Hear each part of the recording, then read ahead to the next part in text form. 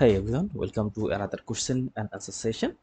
Which of this location best describes the initial location of the metanephric cap from the kidney is uh, derived? So it is uh, one of the direct question that we have to find out location of the metanephric cap from which the kidney derived. So first of all, we have to see the metanephric cap and their final location.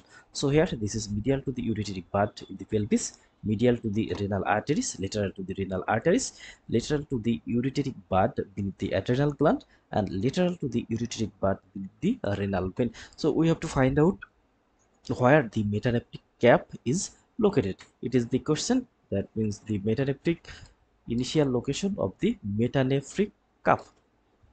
So here we can see this is the picture and in this picture we can see this is the metanephric cup or metanephric blastema in the third picture we can see this is the metanephric blastema and we can see uh, initially it uh, was absent and just in the lower part of the mesonephric duct in the lower part of the mesonephric duct the intermediate mesoderm present.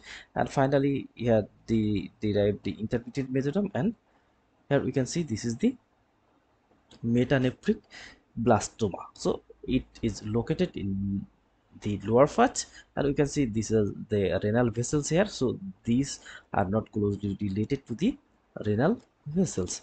And from here we can see the ureteric bud present.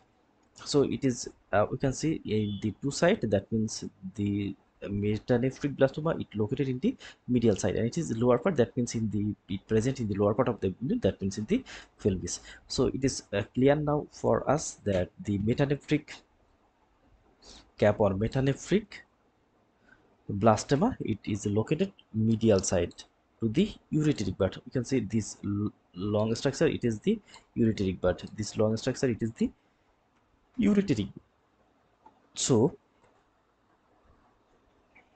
the metanephric cap it is the medial to the ureteric bud and it is located in the lower part that means in the pelvis. But we, we can see the renal arteries renal arteries renal arteries are located more more above so they are not compatible here. And lateral to the ureteric bud beneath the adrenal gland it is not true uh, because we know the adrenal gland adrenal gland uh, usually not derived from this source.